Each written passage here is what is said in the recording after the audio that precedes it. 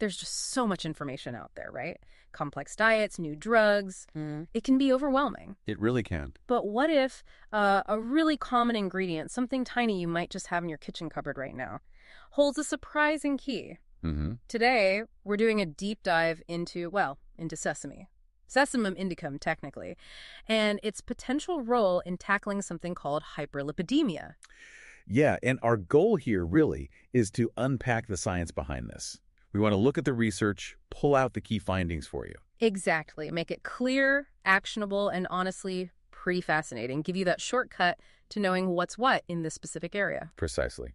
We're zeroing in on sesame, Sesamum indicum, and its potential really as a dietary ally. It's about how this this everyday seed could help manage elevated blood fats. Which are a major factor in cardiovascular risk. Right? a key factor, absolutely. Okay, so before we get right into the sesame details, let's just quickly make sure we're on the same page about why this whole topic matters so much. We're talking hyperlipidemia. Mm-hmm. Which is essentially uh, elevated fats in your blood, like cholesterol and triglycerides. That's it.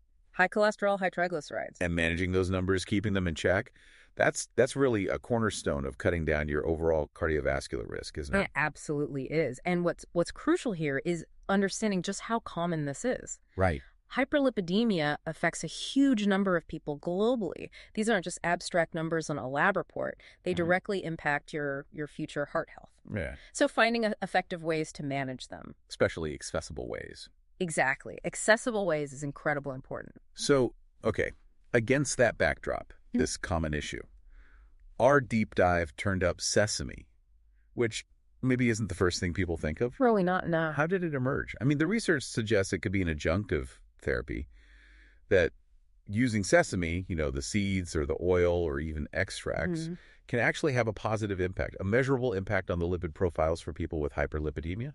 Yes. And the, the initial findings and the ones that seem most consistent when you look across the studies Okay. really highlight its ability to significantly reduce triglycerides. That's a big one. And in many cases, there's also a benefit for lowering LDL cholesterol, the so-called bad cholesterol. Wow. Okay, that's that's pretty significant for just a food ingredient. So, what is it? What's in the sesame seed that gives it these these kinds of effects? What's the uh, the powerhouse component? Well, it's not just one thing. It's uh, it's packed with a really rich mix of bioactive compounds.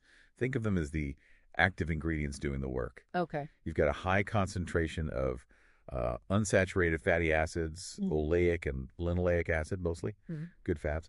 But then you also have these really potent compounds called lignans. Lignans. Okay. Yeah, like sesamin and sesamolin. And on top of that, phytosterols. These are all plant-based compounds, and they seem to be the key players in how sesame affects fats in our body. Interesting. So it's a combination of things working together. It seems to be, yes. And you mentioned the triglyceride lowering is particularly consistent. When we look at um, those big reviews, the systematic reviews and meta-analyses, Right, the studies that pool all the data together. Yeah, those ones. They show a pretty clear, notable reduction in serum triglycerides. That stands out. It really does. Uh, that's probably the most robust finding across the board. And it's significant because high triglycerides, they're an independent risk factor for cardiovascular disease. Meaning they're bad news for your heart on their own, even if cholesterol's okay. Exactly. So consistently bringing those levels down, potentially with something as simple as adding sesame to your diet, that's a really meaningful benefit for people with hyperlipidemia. It's a clear win. Got it. Clear win on triglycerides. But uh, you mentioned cholesterol earlier, and it sounded, well, a bit more complicated. Yeah, that's that's where the picture gets a little more nuanced. It's not quite as straightforward as the triglyceride story. Okay, tell me more. Well, you see, some specific studies, like individual clinical trials, and even one meta-analysis that looked only at that lignan, sesamin.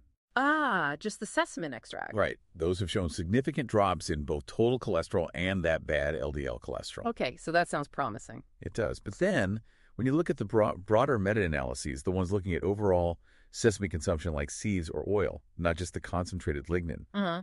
the results for cholesterol are, well, less consistent. Some studies show an effect, others don't find a significant change. Hmm. Why the difference, do you think? It likely comes down to a few things. Mhm. The form of sesame used really seems to matter. Whole seeds versus oil versus those concentrated extracts like sesame. Right. Also, the dosage makes a difference and how long the studies went on for. It seems plausible, based on the evidence, Yeah. that maybe those concentrated sesamin extracts just provide a more potent, more direct cholesterol-lowering punch compared to eating, say, whole seeds alone. The concentration might be key for that specific effect. So how you get your sesame could influence the cholesterol outcome. That makes sense. And what about the good cholesterol, HDL? Any movement there? Um, there's some suggestion in some studies of a modest increase in HDL, the good kind. But again, it's not as consistently reported as the triglyceride reduction. Okay. It might happen for some people or with certain forms, but it's not the main headline effect like the triglycerides are. Got it. Triglycerides down consistently. Cholesterol depends. Maybe stronger with extracts like sesamin and HDL. Uh, maybe. That's a pretty good summary of the current picture, yeah. Okay, so we know what it seems to do and we know what's inside it, but the big question is how? How does sesame actually, you know, work its magic inside the body? What are the mechanisms? Right, the biochemistry of it. Well, it seems to be multifaceted, several things working together. If we connect it back to how our body handles fats, Hmm. those lignans we mentioned, especially sesamin, seem pretty central. Research shows sesamin can actually inhibit or slow down both the absorption of cholesterol from your food and the gut. Okay, so less gets in. Exactly. And it also seems to inhibit the body's own synthesis of cholesterol, primarily in the liver. So it's like a two-pronged approach for cholesterol management from the sesamin itself. Wow, okay. Blocking intake and slowing production. Sort of, yeah. And then you have the phytosterols. They work a bit differently. They basically compete with cholesterol for absorption in your intestines. Like they elbow cholesterol out of the way. Huh, something like that. They structurally resemble cholesterol, so they kind of trick the absorption sites, meaning Right. less actual cholesterol gets absorbed into your bloodstream. Clever. And then don't forget the fatty acid profile itself. That high content of unsaturated fatty acids, the oleic and linoleic, The good fats. The good fats, they inherently contribute to a healthier overall lipid profile too. So it's really a combination of these different components acting through slightly different pathways. It's pretty amazing, really, how much is packed into that tiny seed. It's almost uh, ironic that we hunt for complex solutions when this has been around for ages. It really is quite remarkable. Now, this all sounds incredibly positive, and it is, but we absolutely have to include a really important point here, a caveat for you, our listener. Yes, this is crucial. It raises the question of application. Right. Look, while sesame, based on this research, can be a really valuable nutrient-dense addition to a heart-healthy diet, Huh? it absolutely should not be seen as a replacement for things your doctor has prescribed, mm. medications, for instance, or for other really important lifestyle changes. Like diet and exercise, Yeah. the foundation. Exactly. A balanced diet, regular physical activity, those are fundamental. Sesame can complement those efforts, but it's not a magic bullet on its own. So don't just start eating sesame and stop your statins, for example. Please don't. That's absolutely not the message. We cannot stress enough how important it is to talk to your healthcare provider, your doctor, before making any significant changes to your diet or your health regimen. especially if you're already managing a condition like hyperlipidemia. Especially then.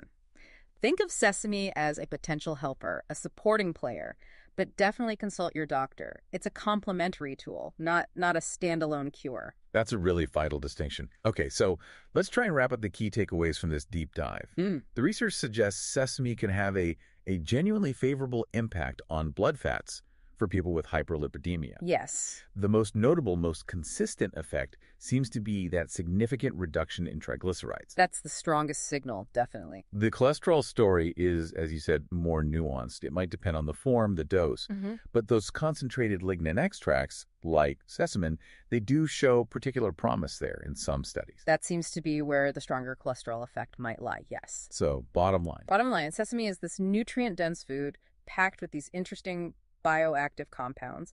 And because of that, it really does stand out as a, a potential dietary ally, something that could help in managing hyperlipidemia and just generally promoting better cardiovascular health as part of an overall healthy approach. That's a great summary. It really does make you think, doesn't it?